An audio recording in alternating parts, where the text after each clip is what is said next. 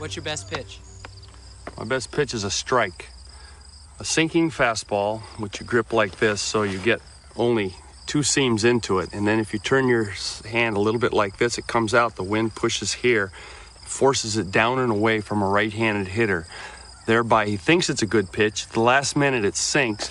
He hits the top half of the ball and he hits a ground ball to Burleson. Burleson picks it up, throws it to Yastrzemski one away. You do that three times or 27 times in a ball game, make perfect sinkers, you'll get 27 outs.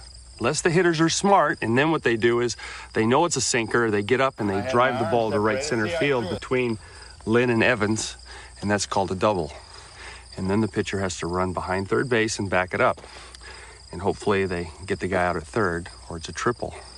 And then you got to run at third in less than two outs. So they bring the infield in, and you don't want them to hit a sinker now. You got to strike them out. So then you go to a cross seam fastball, which I don't have.